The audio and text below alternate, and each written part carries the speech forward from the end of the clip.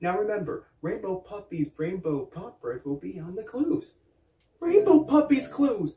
Oh, uh, oh, follow me, Popper.